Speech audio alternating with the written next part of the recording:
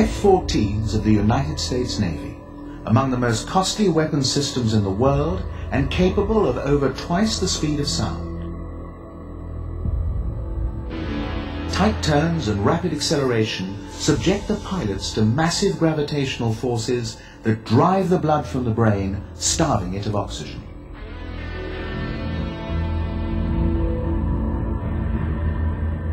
To protect their investment, the Navy has had to devise ways of testing the tolerance of pilots to forces up to nine times greater than gravity.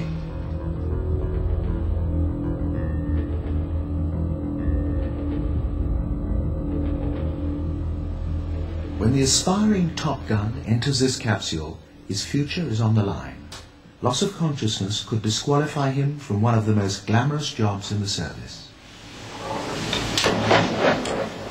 Manned and ready.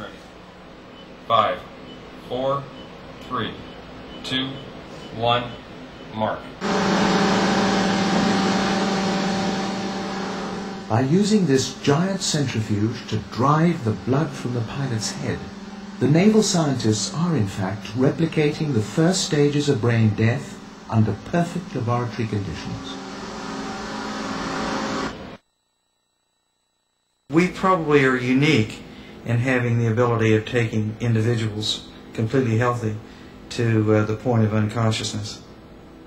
Dr. James Whinnery, Chief Aeromedical Scientist.